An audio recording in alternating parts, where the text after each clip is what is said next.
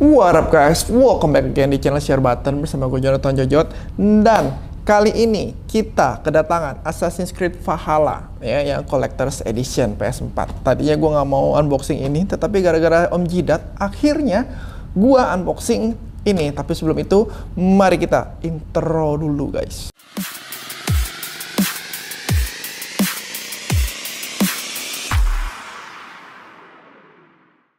What up guys, uh, jadi ini kita udah intro tadi. Jadi ini adalah Assassin's Creed Valhalla yang Collector Edition.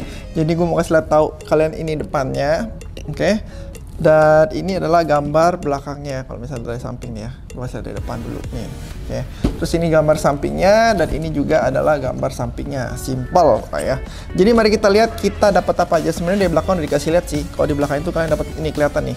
Ada figur, steelbook ya ada patung kecil, patung gede, ya, ada um, Ultimate Edition dan lain-lain lain. Pokoknya kita buka dulu ya.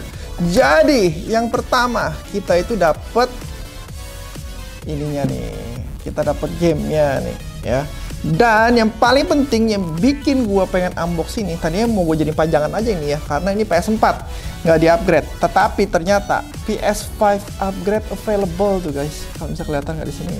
Tutupannya ya.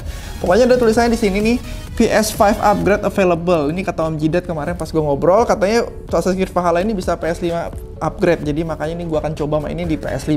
Karena ya kalau udah ada PS5 nggak ada gunanya PS4.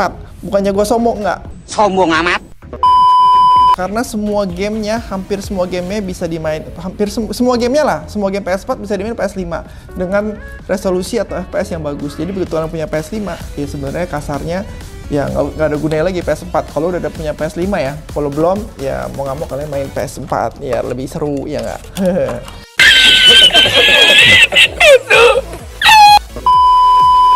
Uh, terus ini ada DLC-nya, entah ini DLC dapat yang Ultimate Edition apa C only apa enggak, gua nggak tahu ya. Uh, lalu ada steelbooknya, steelbooknya seperti ini depan, ini belakang ya, ini depan, ini belakang. Lalu kita lihat dalamnya ya tidak ada artnya sama sekali. Gue lebih bukan tidak ada artnya ya ini cuma pattern doang kurang begitu oke okay menurut gue ya. Uh, setidaknya tadi ada gambar dalamnya patternnya apakah yang bagus gitu. Lalu kita juga kedapetan ini figur kecilnya ya premium certificate of authenticity ya. Jadi ada ininya nih.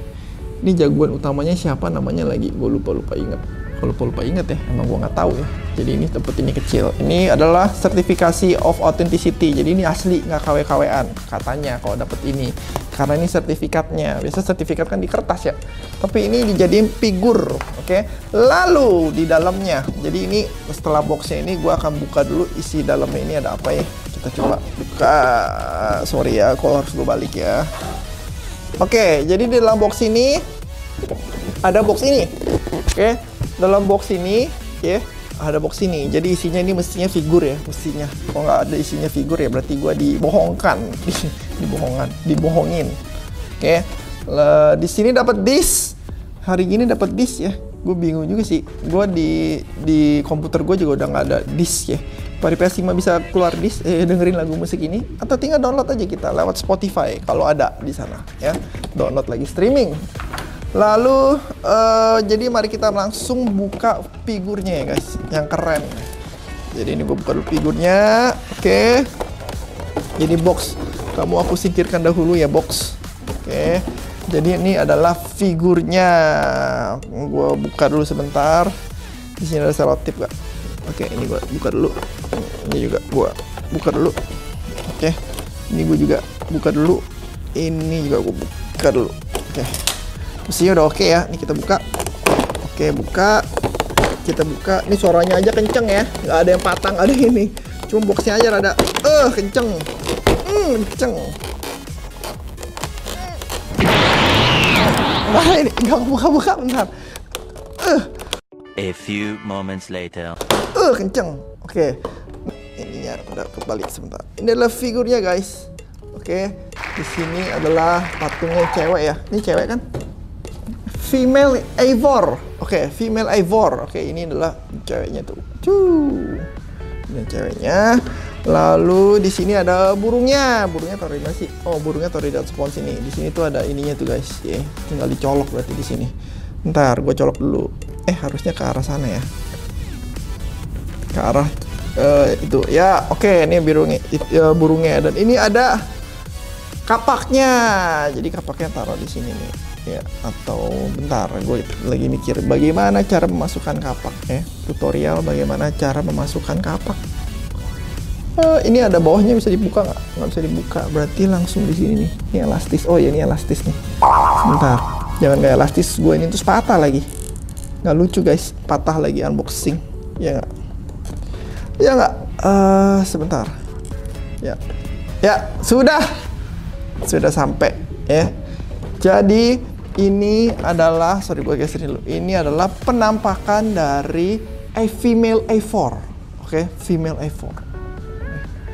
Sekali lagi tadi gue nggak bilang nggak mau karena di PS4 jadi gue pikir mau beli di PS5 aja langsung ternyata ini PS5 free upgrade gara-gara Om Jidat bilang aduh kalau nggak gue udah mungkin udah keburu beli di PSN Store yang buat PS5 ya tuh ya kan lumayan lah ya mantep lah ya jadi bisa dimainin di, jadi ini bisa dimainin di PS4 dan PS5 PS5 tentu saja di upgrade ya dengan resolusi 4K dan FPS yang lebih kencang ya terus apalagi mau ngomongin ya kayaknya lagi mau ngomongin nih Oke, jadi segini dulu kalian dapatnya apa aja?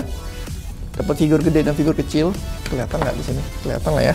Lalu dapat steelbook, dapat PS5 yang eh PS4 yang Ultimate Edition berarti dalamnya juga ada DLC DLC segala macam, ada season pass, ada berserker gear pack segala macam, ada DLC tambahan juga ya yang ini Lalu ada di soundtrack. Sekian dulu dari gue ya. Banyak yang request ini Assassin's Creed Valhalla. Kemungkinan gue juga akan main kalau gitu. Tapi gue tamatin Dark Souls dulu ya. Karena Dark Souls itu paling nyebelin. Game paling nyebelin di seluruh dunia. Kapok gue main Dark Souls lagi. Kapok, kapok. Tapi ntar ada game baru lagi, gue hype lagi. Aduh, ya namanya juga orang.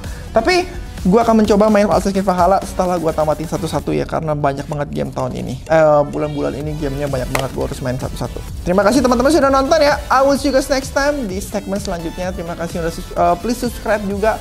Yang udah nonton dan subscribe gue juga ucapin terima kasih. Uh, gua kita akan ketemu lagi di segmen unboxing berikutnya. Terima kasih.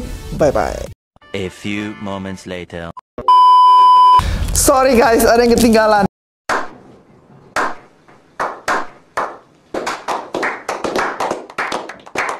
Ini tadi gue lagi ngubek, ada yang ketinggalan. Ternyata kita dapat ini juga. Ini gue nggak tahu apa nih. Gue tadi lihat gue nggak kelihatan sebentar. Ini ada apa ini namanya? Viking statuette. Viking statuette itu apa? Sama oh litograf sama Viking statuette. Viking statuette itu apa ya? Ini bahasanya Ubisoft kali. Viking uh, Viking statuette ya. Viking. Oke. Okay. Jadi ini Collector's Edition nomor 60285. Oh, ini sertifikat authenticity-nya. Yang kecil itu tadi adalah figurinnya Male A Male A4. Oh, yang ini Male A4. Gua salah ya ampun Jonathan. Maaf ya, unboxing noob nih. Padahal udah berapa kali gua unboxing tapi masih noob. Maaf, maaf, maaf. Ini adalah Male A4 dan yang ini adalah sertifik premium sertifikasi of authenticity. Jadi ini asli ya, bukan bukan palsu ini CE-nya uh, menurut menurut si Ubisoft. Lalu di sini juga dapat litografnya. Belakangnya ada mungkin sebentar di belakangnya ini mungkin ada nama-namanya itu mungkin nama-nama orang yang bikin apa nama-nama apa ya Rafael Lacoste, Dong Luyu, Martin Desembau. Oke, jadi mungkin ini artnya yang dibikin oleh mereka belakang-belakangnya ini ya. Jadi sekian dulu terima kasih teman-teman bagi yang sudah menonton unboxingnya sekali lagi ini beneran goodbye ya maaf ya telat ya ini gue pas lagi mau masukin balik ternyata ada yang ketinggalan. Oke, terima kasih. Ternyata ya gue beli lupa harganya berapa ini di beli sama PSE seperti biasa toko langganan gue PSE Mangga 2 ya. Jadi kalian kalau mau beli barang game seputar dunia game bisa beli di sana. Oke. Jadi terima kasih teman-teman sudah nonton and I will see you guys next time. Kali ini beneran I will see you guys next time di segmen selanjutnya. Bye bye.